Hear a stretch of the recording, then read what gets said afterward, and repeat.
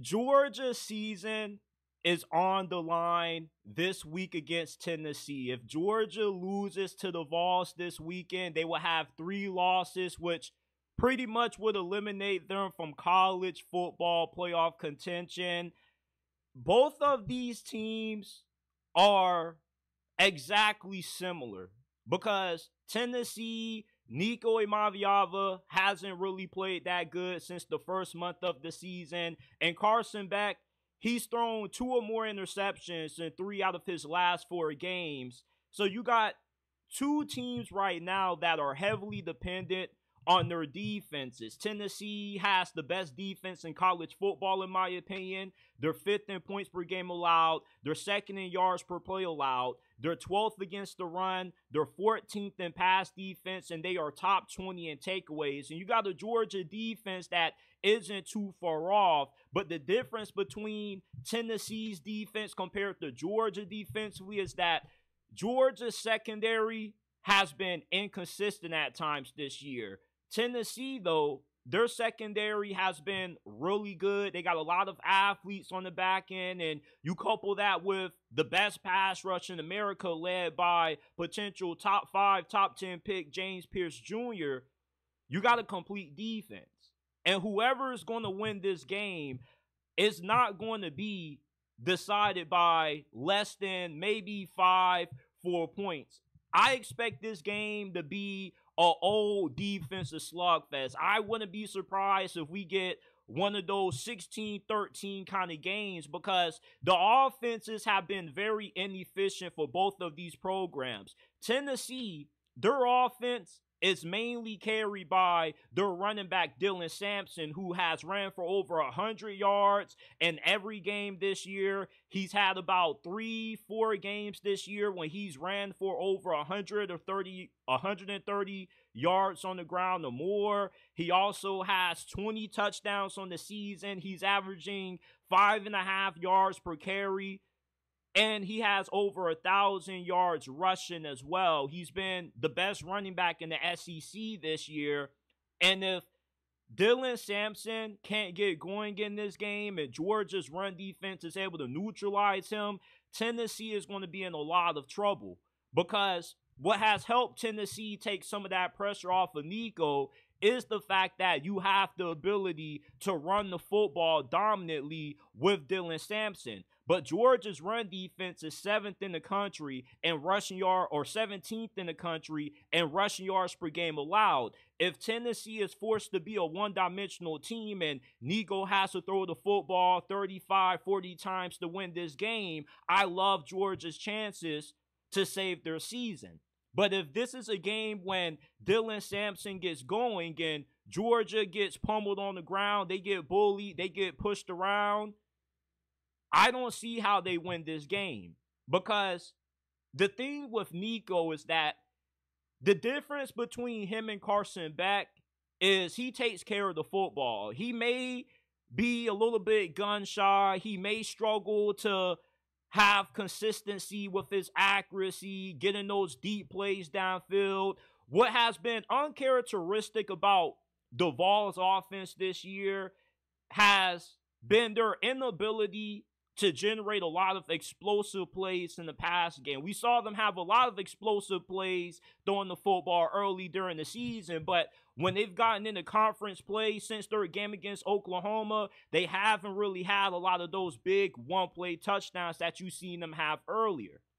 But with Dylan Sampson being so good, you know, you don't really care about your lack of explosiveness in the passing game. But if you get your bread and butter taken away, which is your ground game, you're going to be in trouble because Georgia has a defense where you don't want to get into a game where you got to go old, old school Mike Leach air raid because that's not winning football against Georgia.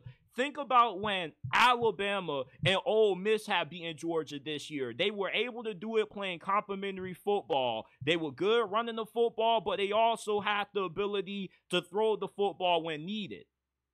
And what makes Georgia such a strange team to gauge is that they looked like they were down and out when they lost Alabama and they barely beat Kentucky by one point on the road. But just when you thought Georgia was down and out, they pull off a massive upset on the road against Texas. And the reason why I call it a massive upset is because going into that game, you had a feeling that that was Texas' game to lose. They had home field advantage. They had the more talented roster. Georgia's offensive line has been really bad this year. Carson Beck has been erratic. You would have thought that Texas would have won that game convincingly, but instead, Georgia goes into Austin and they just completely take over that game, especially in the second half, in spite of Carson Beck's interceptions. That showed you how good of a team Georgia is. Even if they're not playing their best football, they can still find a way to sneak away with a win. But when they played Ole Miss, however, a game that you were really confident that Georgia was going to be able to win due to Lane Kiffin being unable to beat Georgia in past years and how one sided that game was last year when they both played. You had a five out of five confidence level. The dogs win that game, but instead, you got completely bullied. Ole Miss was tossing you around like a cold salad. Are we going to see another game where Georgia rises to the occasion like they did against Texas? or are they just going to be a complete no-show like we saw last week against Ole Miss? You would think that this is a bounce back spot for Georgia because I can't recall the last time Kirby Smart has lost back-to-back games. And this is normally a team that when they're in situations like this, when they feel like their back is against the wall, they play their best football. But Tennessee, though, outside of that loss to Arkansas, they've been pretty consistent. And what makes me skeptical about Georgia is that we only have about two, three weeks left of the regular season, and we still don't know what Georgia's identity is. We know what Tennessee's identity is. They got a great defense. They don't need to score 30, 40 every game to win. All they need is for their offense to be good enough with their ground game that it allows them to lean on their defense to win games. It's going to be a dogfight for Georgia to get the 20 points in this game. Same thing can be said about Tennessee, but at least Tennessee has had the run game that they can lean on. Georgia, they don't have anything they can lean on. The run game hasn't been there. The passing game has been hit or miss due to the inconsistency with Carson Beck, his turnover issues, the pass protection not being good, and your wide receiver position not being good neither. You got 28 drops on the season. You're like top five in the FBS in drops. You got concerns about your offensive coordinator, Mike Bobo. You got more questions than answers about Georgia coming into this game, which is really scary because you should know what you are as a football team.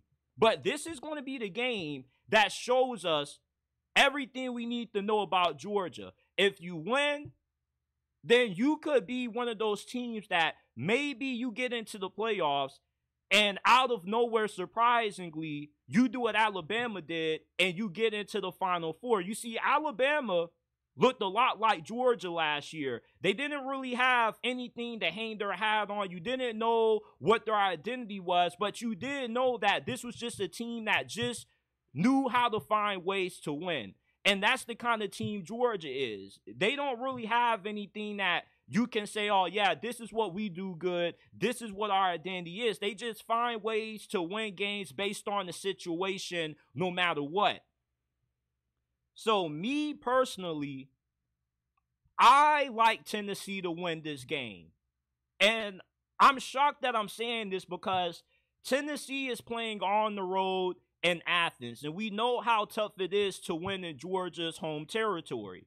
But the reason why I like Tennessee is because one, Nico takes care of the football. Carson Beck cannot afford to have any turnovers in this game. And I know that you can say that's cliche because you never can afford turnovers in any other games. But in a game like this, when you got a defense that's so good, this is the best defense that Georgia has played this year all your drives have to count. You could have afforded a few mistakes here and there against Texas and even Ole Miss because you knew that your defense was going to be able to bail you out. And occasionally your offense you have to hope that maybe they could get a big play or two. But in a game like this, big plays are going to be limited for Georgia. And the biggest weakness with Georgia's offense is their inability to block anybody up front, rather it be in pass pro or run blocking. Georgia's offensive line has been uncharacteristically bad, and you're going up against arguably the best defensive line in college football. And what makes this a concerning matchup for Georgia offensively is that last week you struggled against a defensive line in Ole Miss that is not too far off from how good Tennessee's offensive line is. And if you can't win up front, you can't win that line of scrimmage battle, then you already kind of lost. Georgia fans keep criticizing Mike Bobo's play calling, but you can only do so much when your quarterback has no time to throw. Unless Georgia's offensive line shows up in this game and they play at the level that we've been accustomed to seeing these Georgia offensive lines play these last couple of years under Kirby Smart, I don't see how they score more than 13 points in this game. As bad as how Nico has been and the best games Tennessee has played this year against better competition, at least he's been able to take care of the football, which means that you're not gifting Georgia any extra possessions. But Carson Beck, it's not a matter of if, it's a matter of when he's going to have a turnover. They got a turnover counter now for Carson Beck. He had several turnovers in their game against Texas, and they were able to win in spite of it. But when he had all those turnovers against Alabama, he dug the Bulldogs into a hole that they were unable to climb out of. And it's just really hard to see Georgia winning this game when you got a Tennessee defense that's not even allowing you to score more than 17 points per game. I could see Tennessee getting to 20. I'm having a hard time picturing Georgia getting to 20 just because what is their identity on offense? We go back to the identity crisis that Georgia currently is in right now. Tennessee doesn't need to throw the football for 400 yards, have five touchdowns out of Nico to win, although you would like that, but you know that you can run the football. Georgia can't really do anything. Your ground game hasn't gotten going. Trevor Etienne has been banged up the most of the season, and your passing game has struggled. Last week against Ole Miss, you only had two plays that went for more than 20 plus yards. So when your offensive line is as bad as what Georgia has been, you're going to have problems moving the ball and sustaining efficiency offensively. Tennessee's offensive line hasn't been any better, though. But the difference is Georgia's defensive line is not as good as what Tennessee's defensive line is. As a matter of fact, this is probably the worst Georgia has been up front on the line of scrimmage on both sides of the football in the last four years. So I like Tennessee to win this game, even though it's hard to bet against Kirby Smart when Georgia is up against the wall. I, I just feel with how good Tennessee's defense is and with them being able to run the football so effectively with Dylan Sampson, I like them to get the win. 17 the 16 is probably my score prediction I'm going to go with in this game. This is going to be a game where we see a lot of punting. Scores are going to be at a premium.